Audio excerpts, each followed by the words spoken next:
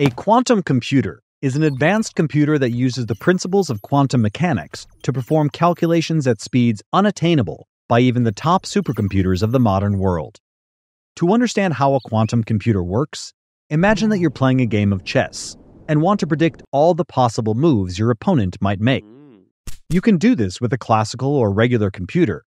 It will go through each move of your opponent one at a time until it runs through all possible moves. This process, as you can imagine, can be time consuming. However, if you had a quantum computer, it would simulate hmm. all possible moves of your opponent at once, in a fraction of the time the classical computer took. This is similar to what a quantum computer can do in the realm of analysis and computation. A quantum computer and a classical computer are similar in some ways. Both have circuits, chips, and logic gates to process information, and they are both operated by algorithms. However, the primary difference lies in how they process information. Classical computers use binary bits, zeros and ones, representing the on or off state of a current. Quantum computers, on the other hand, use qubits, which can exist in both states simultaneously, a property known as superposition. This unique ability of qubits opens up a world of possibilities, allowing quantum computers to process information in a fundamentally different way than binary bits, and potentially revolutionize the future of technology. Let's mm-hmm, consider the mm-hmm, concept of mm-hmm, superposition using an everyday example. When you flip a coin, it can show either heads or tails. But when the coin is spinning in the air, what state would you say the coin is in? Is it heads or is it tails? While it's spinning in the air, it could be argued that it's both heads and tails, correct? Similarly, a qubit can exist in both the 0 and 1 states simultaneously. In a quantum computer, a system of multiple qubits can simultaneously possess multiple states, allowing the quantum computer to process many solutions simultaneously, something a classical computer simply cannot do. This capability enables quantum computers to solve problems much faster than classical computers.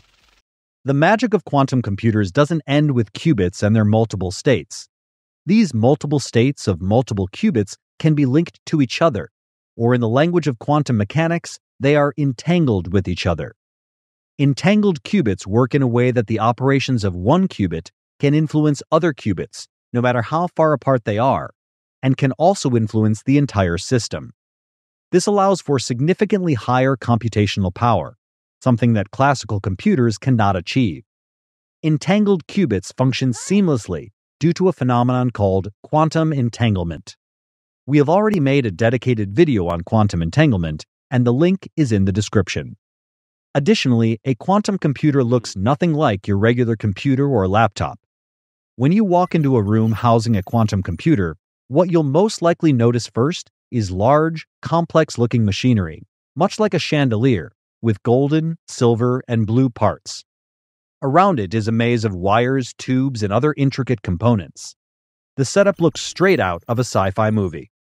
Quantum computers have been in existence in various forms for several years.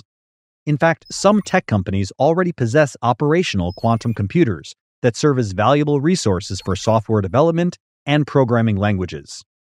The most significant advancement in quantum computing in recent years occurred in October of 2019, when Google asserted that it had achieved quantum supremacy with its quantum computer. This entailed using their specialized Sycamore processor to perform a specific type of computation much faster and more efficiently than the most powerful classical supercomputer. This demonstration of quantum supremacy validated the concept that quantum computers can indeed surpass classical computers in specific tasks by leaps and bounds, and can execute operations that classical computers cannot. This progress also prompted other companies, such as Microsoft, IBM, and several startups, to intensify their quantum research in pursuit of even greater results. Once the full potential of quantum computers is realized, it will herald a world of truly unimaginable possibilities. Quantum computers have immense computational capabilities that will greatly enhance artificial intelligence, Quantum cloud computing services have the potential to revolutionize machine learning by processing extensive amounts of data and complex calculations at unprecedented speeds. In cybersecurity, quantum computers could uphold data encryption during active use, providing robust protection. They are also poised to revolutionize medical and drug research, weather forecasting, and automobile battery technology. While it will take many years before quantum computers become mainstream and see large scale commercial use, it doesn't seem like an exaggeration to say that quantum computers will eventually be powerful enough to not only solve complex problems, but also help you find your missing socks, predict the outcome of your next dinner date, and maybe even explain why you walked into the kitchen only to forget why you were there in the first place.